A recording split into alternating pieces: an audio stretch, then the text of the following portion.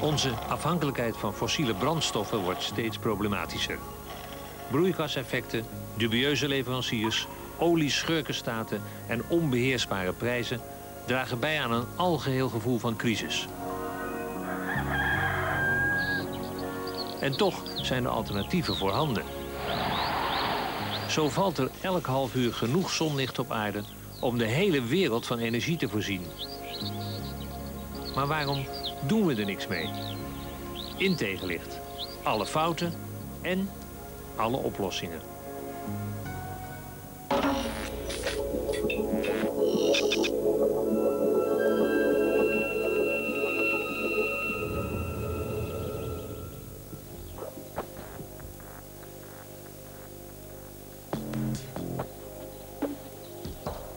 10.000 jaar geleden voltrok zich een grote revolutie. Plotseling was er voedsel in overvloed. De mens werd van jager-verzamelaar, boer. Maar op één gebied zijn we nog steeds jager-verzamelaars. Energie. We verzamelen nog steeds hout, olie, kolen, gas. Onze jachtvelden zijn enorm geworden. De hele wereld wordt afgegraast op zoek naar energie. Zelfs onze voedselgronden zijn niet veilig meer. Maar de jacht geeft problemen. Grote problemen. Klimaatverandering, gezondheidsklachten, tekorten. De prijs is hoog, in alle opzichten. We zijn even blij als de olieprijs zakt. Maar we weten dat die onvermijdelijk naar nog grotere hoogte zal stijgen. Fossiele brandstoffen zijn een bron van speculatie geworden. En speculanten willen geld verdienen. Punt. Uit. Fossiele brandstoffen geven macht. Kranen kunnen naar believen open of dichtgedraaid worden. Wie niet gehoorzaamt, ziet de olie- of gasstroom slinken. Of zelfs droogvallen. En dat betekent oorlog. Gelukkig lijkt de jacht op gas en olie het af te leggen tegen een nieuwe revolutie. Het grootschalig oogsten van zonlicht.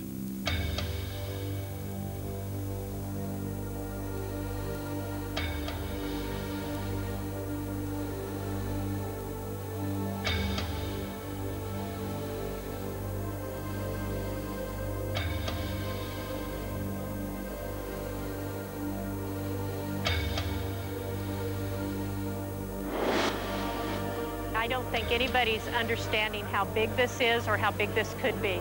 I think it's going to become uh, one of the largest growing, fastest growing industry sectors in India. Uh, one of the real things, uh, challenge about the industry is we have to quit thinking small, we have to think big. And I see this spilling to our neighboring countries like Pakistan, Bangladesh, Nepal, Sri Lanka, all of them. The solution for solar is not to think about, you know, a few panels here, a few panels here. It's it's a field full of panels of arrays. We've taken our revenues from about $10 million in 2004 to projections of about $1.4 billion this year. So um, extremely rapid growth, tripling for the last two years. The world has changed and so has solar. Solar is cost effective today. I don't think the average uh, person on the street really could fathom how big this industry could be. I mean, it's a gigawatt industry in the next five years.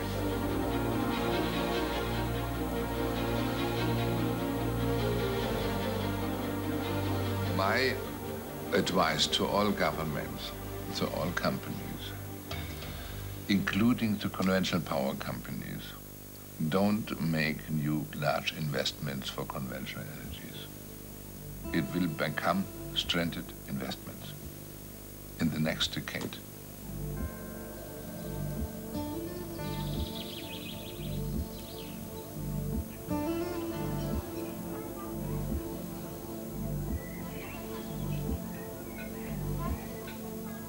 Eén land is definitief begonnen met het oogsten van zonlicht. De lucht wordt er schoner, de duurzame elektriciteit goedkoper... en de afhankelijkheid van fossiele brandstoffen kleiner. Duitsland is op weg de eerste zonne-economie van de wereld te worden. Wie door Zuid-Duitsland rijdt, ziet overal om zich heen boerderijen met zonnepanelen. Hele heuvels zijn zelfs bedekt met zonnecellen. Stil en schoon wekken deze zonnecentrales elektriciteit op.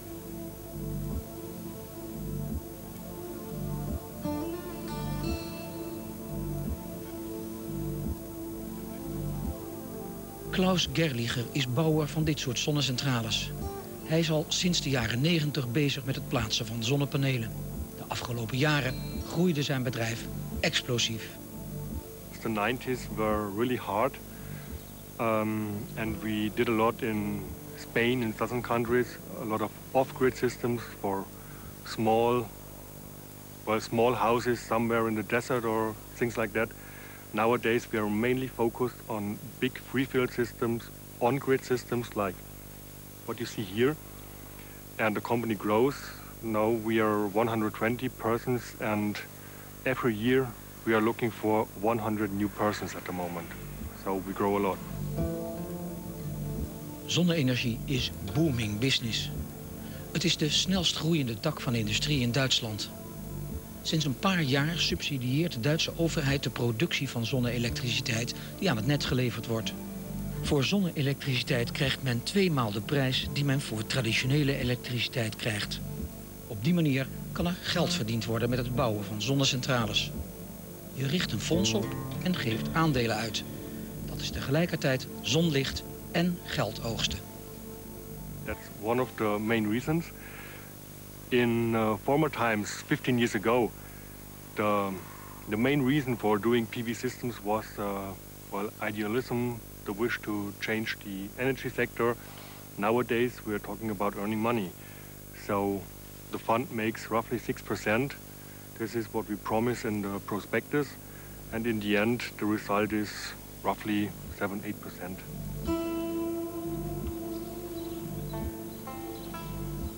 For 1,000 euros, you make a profit of 6% and you buy a machine that makes you for the next 20 years the current you need. So you make a green current for the next 20 years just by investing in the right machine. You don't have to give away the 1,000 euro, it's just an investment. So the question is, do you bring it to the bank or do you pay it in into such a solar fund? Duitsland heeft een enorme voorsprong op het gebied van zonne-energie... omdat daar de zogeheten feed-in tariff law is ingevoerd. Een wet die de elektriciteitsmaatschappijen verplicht om alle duurzame elektriciteit terug te kopen. Die teruggeleverde stroom wordt 20 jaar lang betaald uit een belasting van ongeveer 1 euro per maand op gewone stroom. De droom van Duitsland als zonne-economie kwam uit de koker van één man. De socialistische politicus Herman Scheer besloot zich eind jaren 80 volledig op de zonne-energie te storten en schreef er twee boeken over. Hij loodste de tariff law en de subsidiemaatregelen door het Duitse parlement. Maar daarvoor moest hij wel de strijd aangaan met energiemaatschappijen, netbeheerders, politici en economen... die allemaal hun eigen scenario's hadden. We have three kinds of energy scenarios.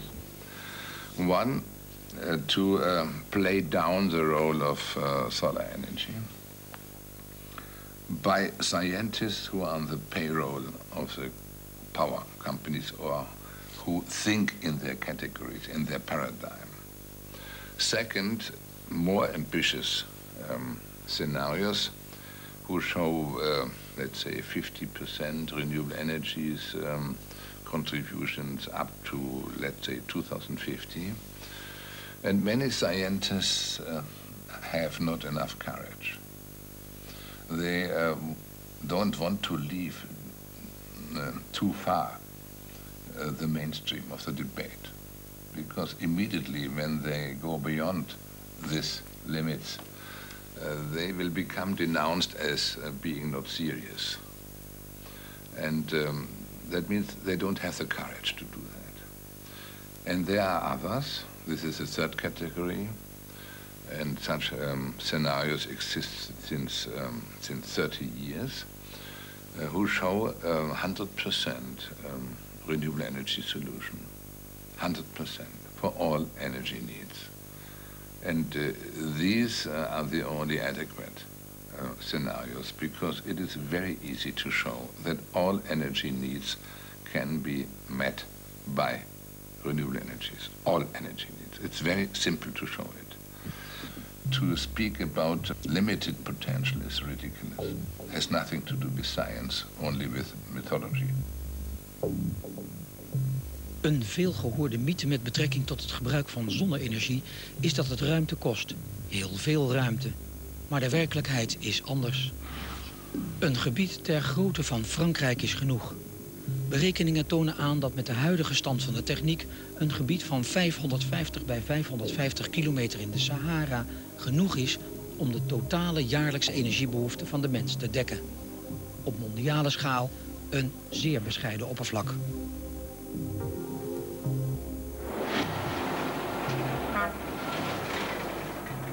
We need technologies uh, to harvest it and to convert it into modern um, uh, energy needs. The only question is how um, fast can we introduce a new uh, industrial sector producing uh, technologies uh, for harvesting um, renewable energies.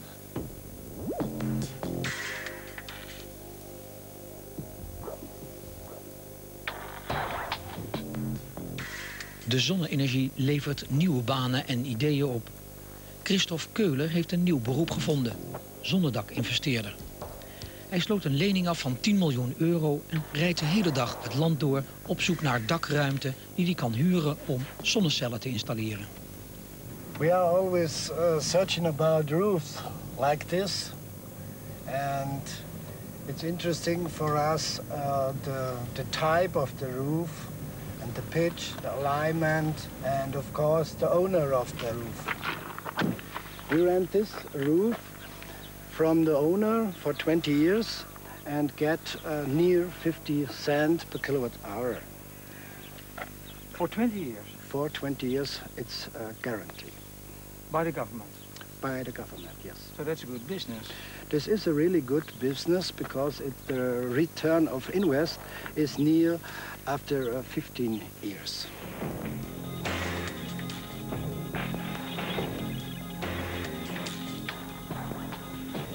De invoering van de Feed-in Tariff Law is de sleutel tot het Duitse succes. Netbeheerders werden verplicht om hun systemen aan te passen... zodat investeerders geld kunnen verdienen aan de productie van zonne-elektriciteit. Innovatie en een ultrasnelle ontwikkeling van de Duitse zonne-energie-industrie zijn het gevolg. Het land is inmiddels een van de grootste zonnecelfabrikanten van de wereld.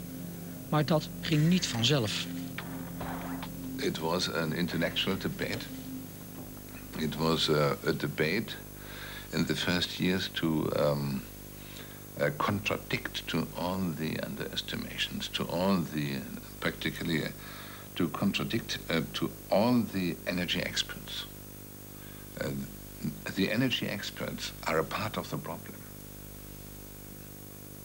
That's my experience.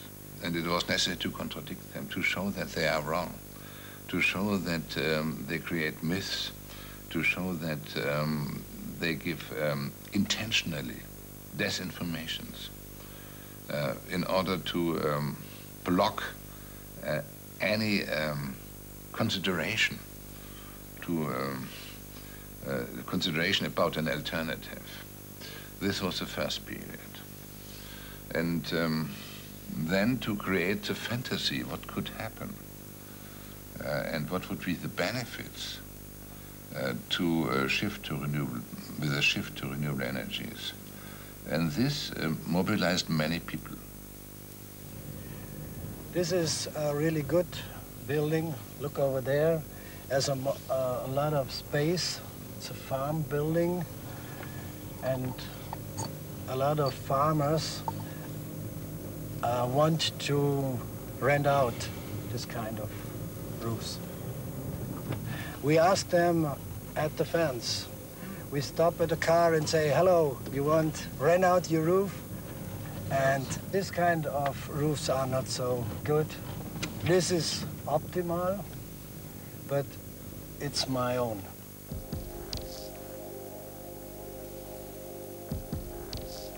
Keuler kan zijn investeringen onder andere doen omdat Share ook een apart subsidieprogramma invoerde voor 100.000 daken met zonnecellen.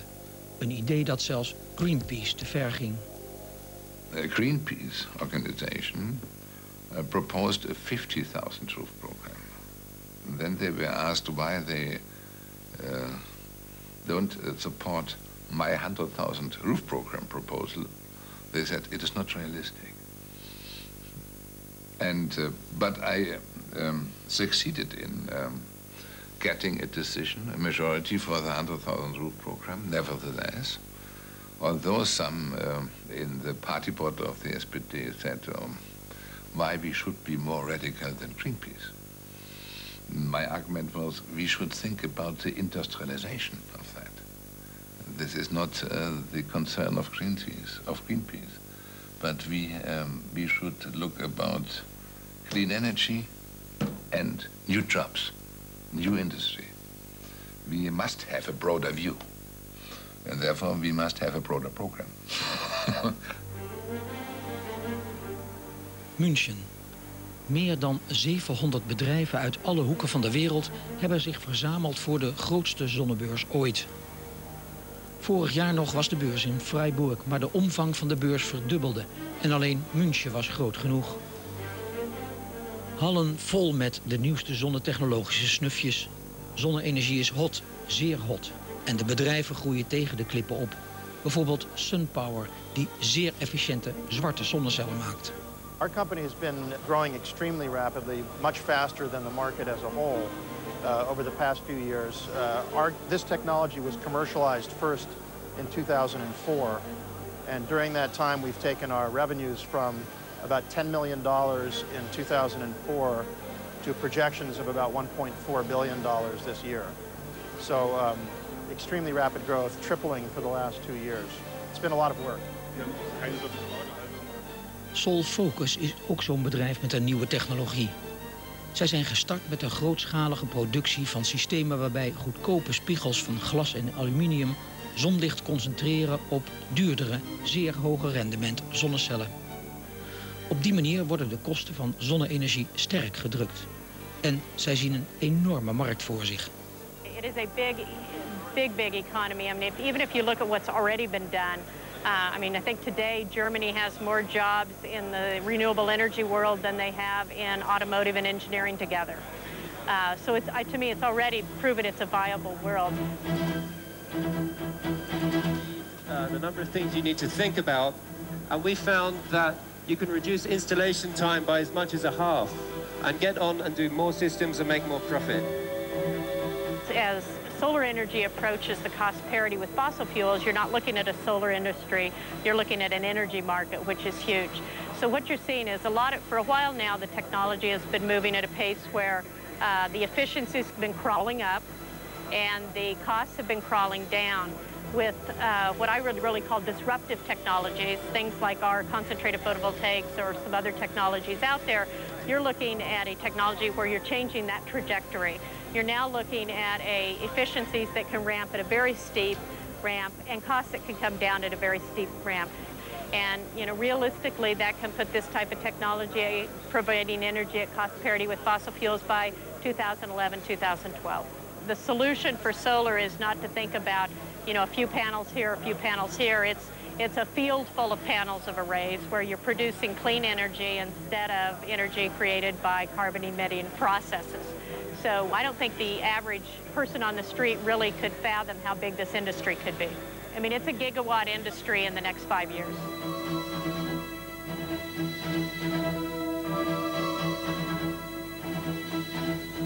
The cost for renewable energies can only go down because all costs for renewable energies are, with the exemption of biomass, only costs for technologies.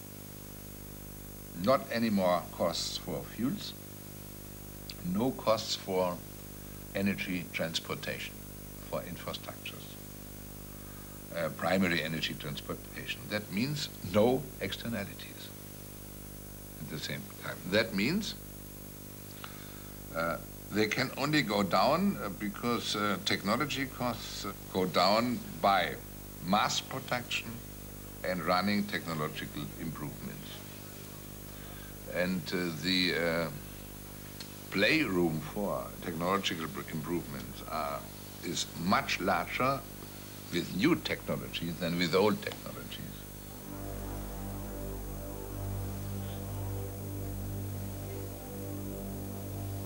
Een enkele verloren oliemaatschappij pikt ook een graantje mee, maar wil op de beurs niets zeggen. Niet zo raar, want de zonne-energie lijkt hen uit de handen geglipt. Het is in handen gekomen van de elektronica-industrie. Die hebben geleerd dat schaalvergroting en massaproductie werkt.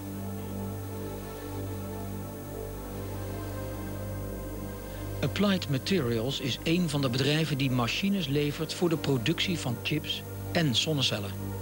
Massaproductie en technologische vernieuwingen zijn de beurswoorden.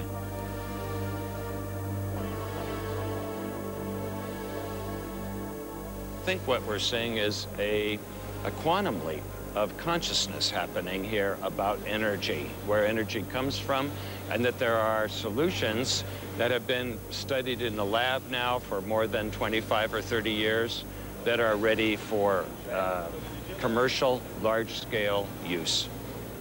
We have a history of 40 years of making equipment for making integrated circuits, and about uh, three years ago, we began to provide the equipment to use in building up factories for large-scale solar manufacturing.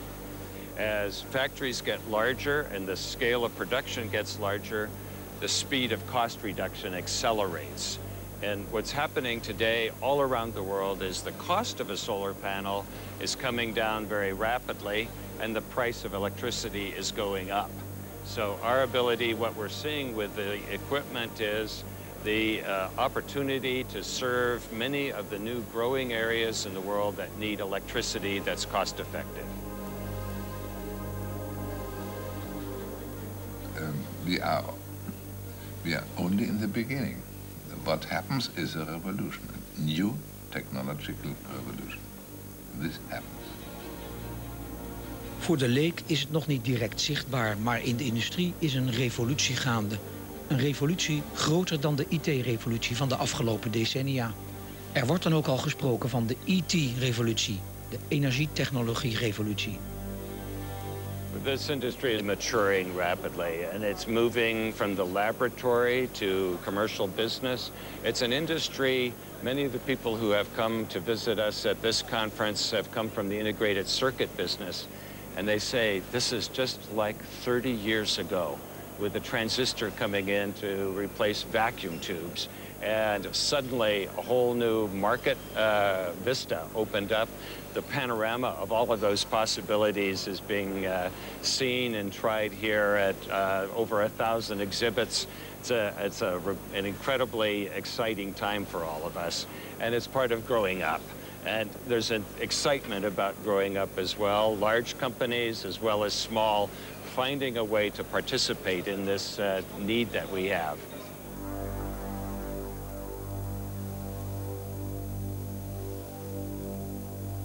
All technological revolutions have had an initiator. and uh, we are the initiators of that. And this um, will lead to a development which will uh, initiate a break of the conventional energy system in the next decade. And the um, business changes from an energy business to a technology business. That means the losers are the conventional power companies. The winners of this development are companies in the economic field are the companies who produce the technologies for harvesting renewable energies and converting it and store it.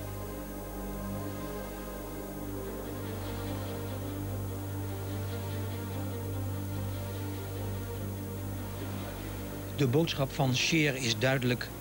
Nieuwe industrieën nemen de energieproductie over. Zijn woorden lijken bevestigd te worden door opkomende economieën zoals India. De Indiërs hebben grootse plannen. Zon genoeg en een immense behoefte aan energie. En een sterke innovatieve kracht. The local interest in the country is basically uh, it's, a, it's, a, it's a huge interest and we see India taking off into a mega market. Uh, probably uh, 2009, like Vinay said, I would say more in the region of 2010, it's going to explode. Moser Industries is een van de grootste producenten van optische media in de wereld. Zij investeren volop in de nieuwste zonnetechnologie. We're not a module manufacturer, we're a solar energy provider. So that means we want to grow the solar industry and we have made investments in crystalline silicon, in thin film, large investments. And we have also made investments, equity investments in making polysilicon material. We've made investments in future technologies like concentrated technologies like SolFocus, for instance, is our partner. And we've made other investments too. We are looking at it from a much wider scope. How do we become the best help for promoting solar energy as such? An entire new industry is emerging, not only in solar manufacturing, it's going to be a captive consumption of solar uh, panels, which means our solar integration industry is going to increase, the solar energy services industry is going to increase. This whole industry is going to grow. I think it's going to become uh, probably uh, uh, one of the largest growing, fastest growing industry sectors in India. And I see this spilling to our neighboring countries like Pakistan, Bangladesh, Nepal, Sri Lanka, all of them. People are remembering from the last time we had an oil embargo, 1978, solar was too expensive. It was about $30 a watt for a solar panel. Today, it's well below $3 a watt. There's been a factor of more than 10 in cost reduction. Part of what's important here is to get the message out that the uh, world has changed and so has solar. Solar is cost effective today.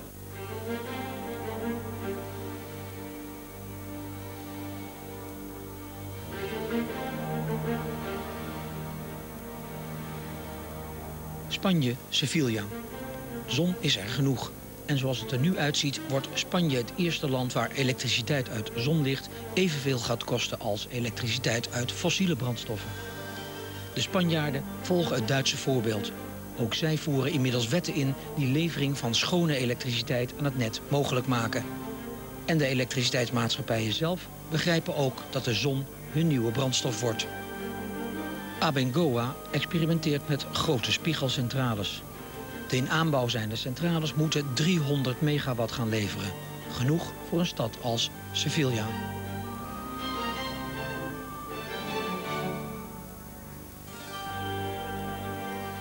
This solar plant, the PS10, is the first commercial tower plant to come into operation in the world. So there were several uh, uh, research and development projects in the past making use of this technology that proved that the, the technology was uh, feasible. But finally, uh, there were never a company that invest the money uh, in order to make this technology commercial. In this case, Abengoa made the effort to finance this project and to put this plant into operation and now it's a reality.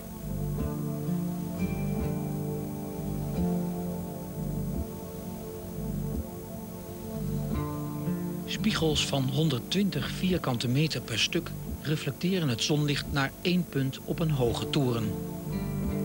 Met de hoge temperaturen die daar ontstaan worden stoomturbines aangedreven, waarmee elektriciteit opgewekt wordt.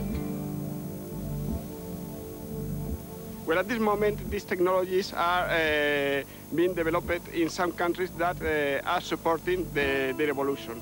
In Spain, for example, we have what we call a feed-in tariff that uh, is paid for every kilowatt hour of electricity that we generate and that makes possible the uh, economics of these projects. As a matter of fact, at this moment in Spain, there is uh, coming into development the competition between different companies and that makes costs go down very quickly and you have to work to develop it and to put it into real operation and to demonstrate that it's feasible and uh, that it's real. And we think that it will arrive much sooner than many of the of the other actors in the energy sector uh, think. As a matter of fact, the rising prices of the oil uh, every day helps help us lot uh, in this work.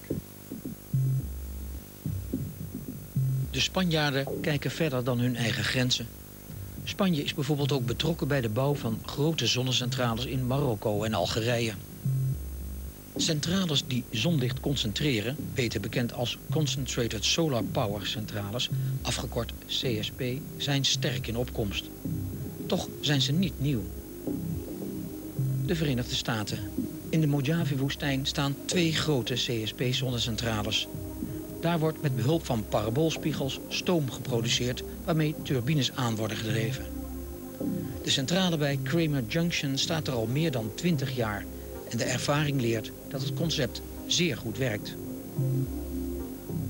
This plant has been in operation since construction between 1986 and 1988. So we've had commercial operation here, self-sustaining in the commercial uh, environment for years. It's all private investment.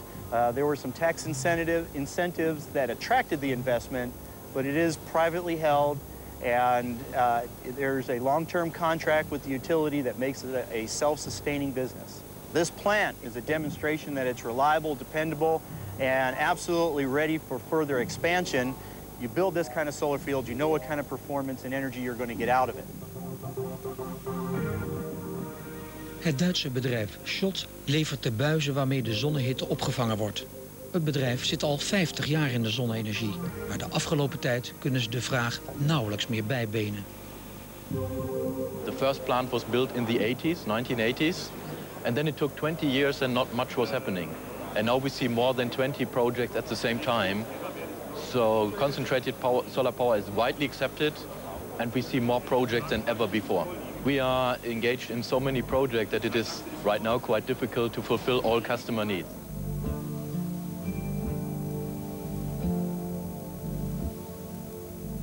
CSP-centrales zijn extreem effectief in zonrijke gebieden met nauwelijks bewolking. Worden de woestijnen onze nieuwe energiegronden? Daar lijkt het wel op. De Club van Rome kwam onlangs samen met het Duitse Lucht- en Ruimtevaartlaboratorium en het bedrijf Schott met een spectaculair plan.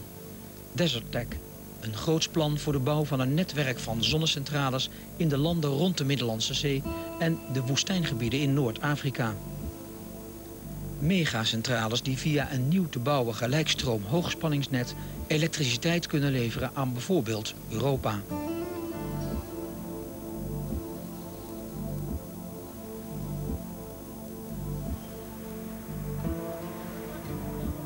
Jordanië, Amman.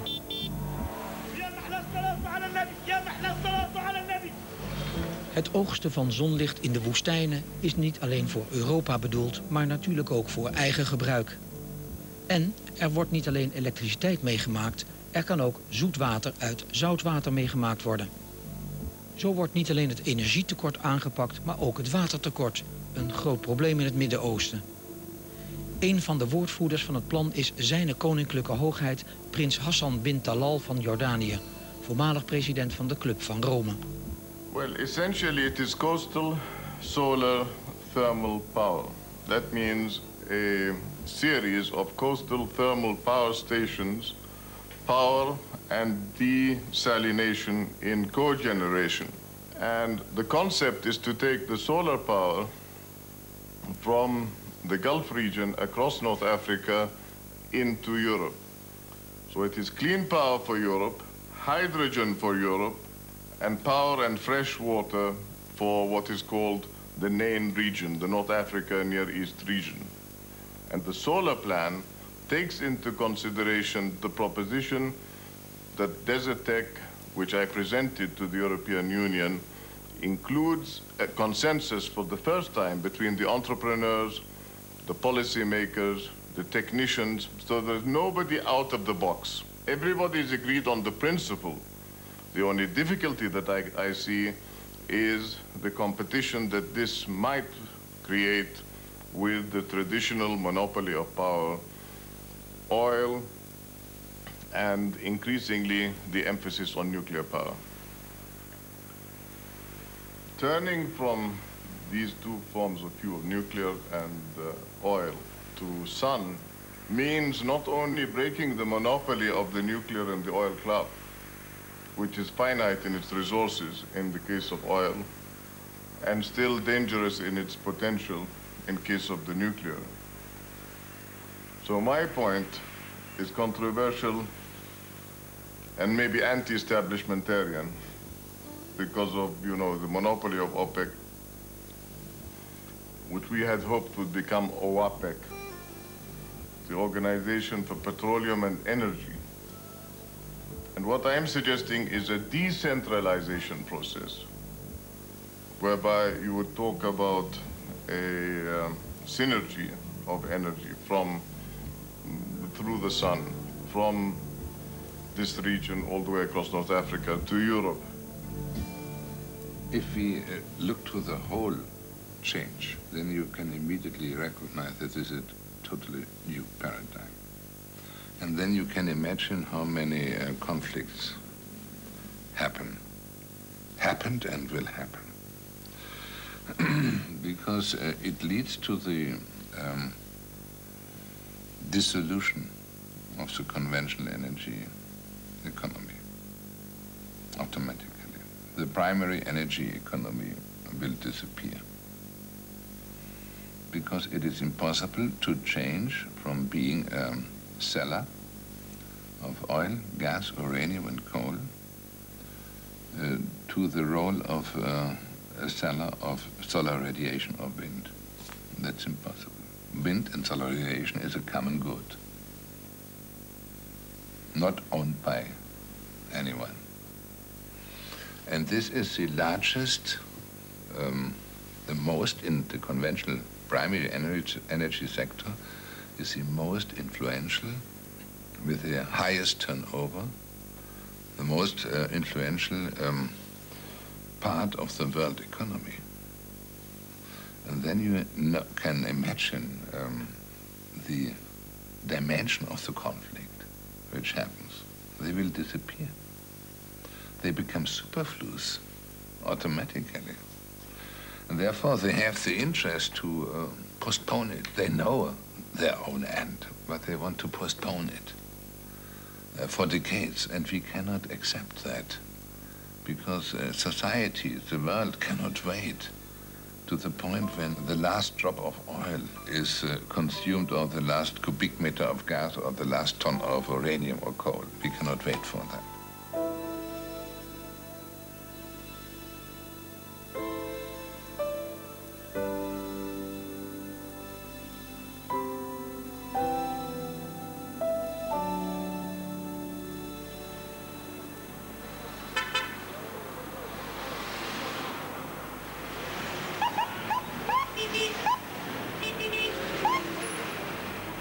Think the paradigm shift comes from the fact that we are talking about 10 billion people on the planet within a very few years.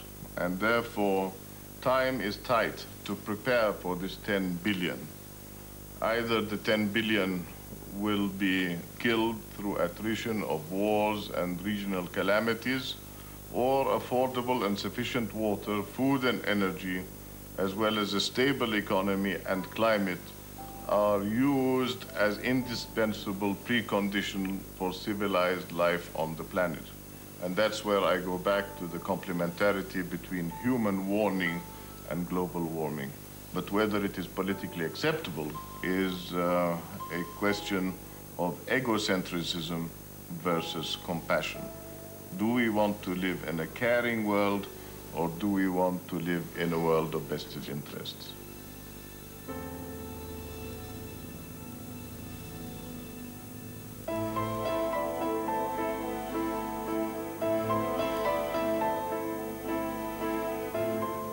Hoe sparen we de planeet en voorzien we de mens van genoeg energie? Het potentieel van de zon is enorm. De technologie is er klaar voor en zelfs de olielanden lijken in de richting van de zon te schuiven. In opdracht van de Verenigde Arabische Emiraten ontwikkelt een Zwitsers ingenieurbureau een plan voor de bouw van enorme zonne-eilanden op zee. Op de oceanen is nog veel meer zonrijke ruimte dan in de woestijnen. En water is er genoeg. Zout water dat in installaties omgezet kan worden in zoet water. Water dat gebruikt kan worden om zonne-energie op te slaan in waterstof. Water om stoom te maken en turbines aan te drijven. De eilanden maken gebruik van een goedkoop spiegelsysteem. Hier worden vlakke spiegels gebruikt om zonlicht op de buizen te laten vallen... waarin een vloeistof sterk verhit wordt. Die warmte wordt weer gebruikt om stoom op te wekken of om zoet water te maken. Het eiland drijft in een speciale constructie en kan zo steeds op de zon gericht blijven. De zonne-eilanden moeten per stuk vele gigawatts gaan produceren. En de eerste prototypes worden nu gebouwd.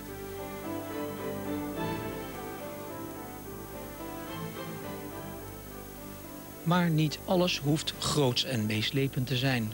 We moeten ook dichter bij huis zonne-energie kunnen oogsten. Want anders creëren we een nieuwe afhankelijkheid van grote monopolistische ondernemingen. En dat wil Herman Scheer nu precies voorkomen. If we have a fantasy, then we uh, can see a future um, in which um, many, many small and medium uh, productions uh, with solar energy, converting solar energy, replace very few big power plants. And this is an advantage for the society, a big advantage. It is um, the way from a monopolistic structure uh, to uh, a broad ownership, uh, to um, an energy uh, supplying system with many um, um self um, um, producing, self protection structures.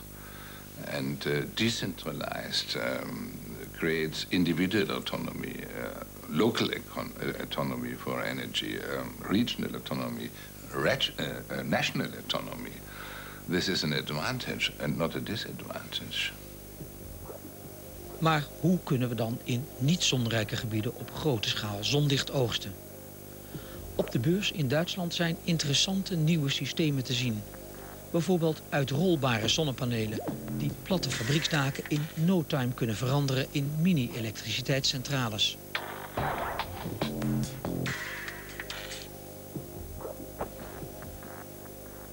Een onverwachte ontwikkeling komt uit de wereld van de platte beeldschermen. De fabricage van platte schermen lijkt heel erg op de fabricage van zonnecellen. Het is in feite glas bedekt met een zeer dunne film halfgeleidermateriaal. Grote platte beeldschermen waren enkele jaren geleden nog onbetaalbaar. Inmiddels worden ze massaal aangeschaft en zijn ze een tiende van de prijs van vijf jaar geleden. Als je zulke grote schermen kunt maken is de stap naar nog grotere zonnecellen vrij simpel. En dat is precies wat er nu gebeurt. Applied Materials bouwt nu machines die zonnecellen van ruim 5,5 vierkante meter uitspugen. Hun afnemers zijn de grote elektronica-industrieën in Japan, Taiwan, China en India. Zij gaan binnenkort goedkope zonne-energie wereldwijd beschikbaar maken.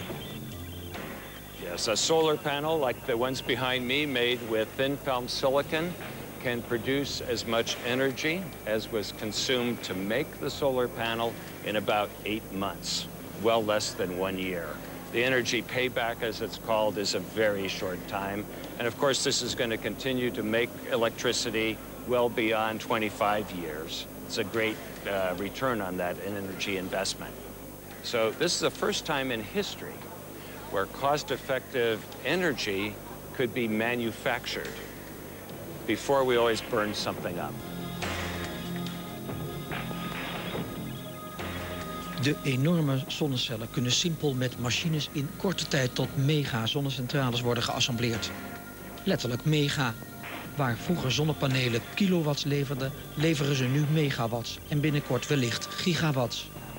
Met dit soort nieuwe technologie wordt er een einde gemaakt aan de mythe dat er te weinig ruimte zou zijn voor betaalbare zonne-energie in niet-zonrijke landen.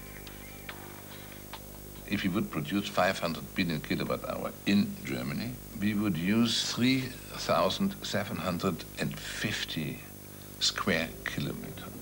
This is less than 10% of the uh, surface which is covered by buildings. And it is possible to integrate this in um, constructed areas, in buildings, as um, roofs over streets and so forth and so forth. And uh, we can take vertical spaces because you can uh, take um, the facade of buildings for um, the production of electric power. And um, that means this argument is totally ridiculous. Mm, uh, forget it.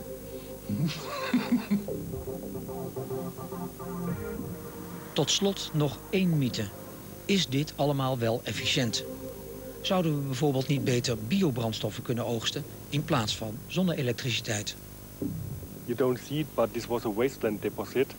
And farming was not possible because the, the, the yield for the farmer was really poor. So it was worth nothing more or less. And that's why I think here it really makes sense. And what is interesting, even if it would have been an excellent farmland, the energy yield in kilowatt hours, electrical kilowatt hours per hectare is roughly 50 times higher than via biomass. So imagine if you have a farmer uh, growing plants, pressing out uh, plant oil and uh, firing them in a, in a uh, combined heat cycle process, you have one fiftieth of the amount of electrical energy. This is incredible, I, I know, but this is 50 times more effective. De prijs van olie stijgt alleen maar en de prijs van zonne-energie daalt. De technologie is er klaar voor. De elektronica-industrieën staan in de startblokken. Wereldwijd voeren allerlei landen dezelfde wetten in als Duitsland. Zonne-energie komt sneller dan de meeste mensen denken.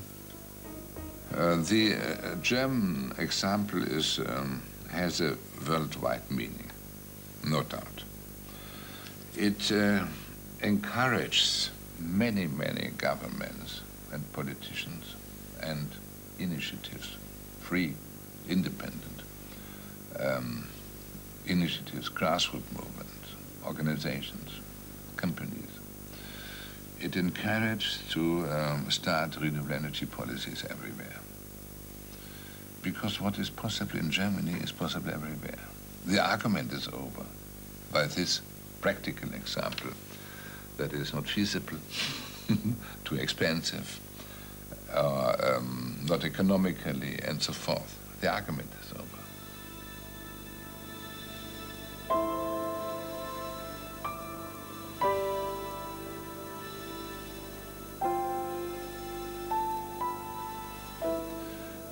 Um, we will arrive with uh, solar power uh, production, with PV. Um, we will arrive in the run of the next decade um, at costs, including new uh, storing um, opportunities, at costs for a household which are lower than the conventional costs for buying electric power over the grid. We will arrive at that. And who will hinder people uh, to do that? No man can do it. Only a dictatorship can do that. How does it feel to be a sort of initiator of uh, a revolution? Hmm. do you know, perhaps you know the uh, sentence of the um, of Schopenhauer, who was a, a German philosopher of the 19th century, and he wrote, "A new idea will um, firstly become denounced as being ridiculous. Um, secondly, uh, there are many fights against it. And finally, all people were in favor for that from the early beginning. And this will happen with solar energy.